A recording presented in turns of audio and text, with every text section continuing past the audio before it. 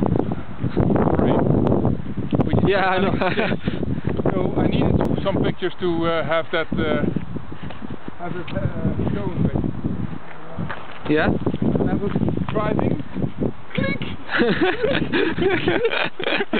and people in front of me.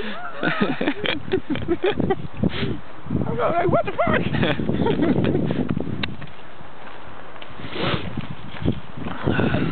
What you can, what what they uh, the police do not like yeah? is that you uh, go towards like a photo photo car, so where, where they have the camera in there, Yeah? and stop beside them and make a picture of them. They don't like that? they don't like it.